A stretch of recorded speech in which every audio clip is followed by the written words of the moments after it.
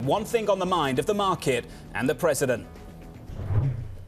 China. China. A place called China. China. China. The story is mainly about China. The whole China story. The China story. The trade story. The U.S. China trade. The biggest chunk of the uncertainty in the market that we see today is due to the U.S. China tensions. The trade tensions are easing. That will allow companies to go back into spending. With the trade tensions that we're well aware of in the background, some people just deciding to hold off a little bit. President Trump is shown to be unpredictable. So much unpredictable behavior from this president. The threat of an all out trade war, while it appears less likely, is still there. So anything that minimizes that is going to be good for markets in the short term. Uh, joining me around the table to start the conversation, Michael Purvis, Weeden Chief Global Strategist, Peter Tchir, Academy Securities Macro Strategy Head, and Shawn Matthews, Hondius Capital CEO and CIO as well. Guys, great to have you with me around the table. Michael, let's begin with you. The mood music is better around the trade story. Is there some substance to this?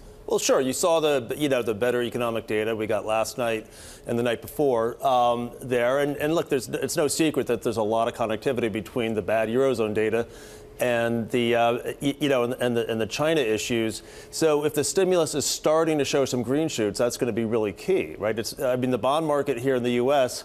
and for that matter Germany has has moved right in tandem with this data. So the, it's a huge variable. And, and candidly, I think you know in the last FOMC, I really wish Powell had at least addressed the concept that there is a there's some uh, inherent volatility in this view because we just don't know whether the, when and where the stimulus is going to kick in and to what extent. So let's explore this morning. So we have better data out of Europe. We had better data out of China earlier in the week.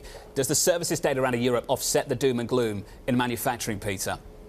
I think it starts to. Again, I think we had a string of bad data. Everyone's extrapolating more and more bad data. I think we hit a soft spot. The big question to me is do we get a trade deal or not? A trade deal puts a lot of this bad data behind us and we can go forward looking. What's the good impact of the trade deal? If we don't get a trade deal or we turn around and pick fights with you know, Europe or Asia ex China after that deal, all bets are off again. Let's talk about the prospect of that trade deal from the White House. Kevin Cirilli joining us, Bloomberg chief, Washington correspondent. Anything more than just better mood music, Kevin?